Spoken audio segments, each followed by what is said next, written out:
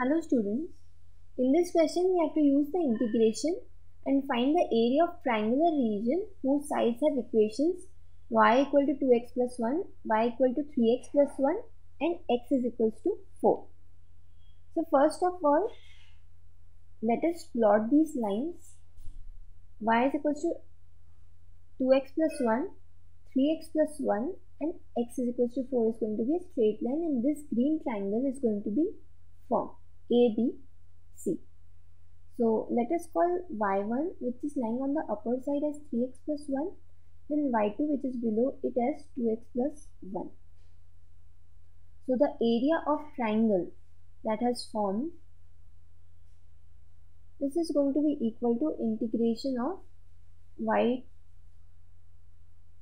1 minus y2 with respect to x but x should vary from 0 to 4. So substituting it 0 to 4 3x plus 1 minus 2x plus 1 dx.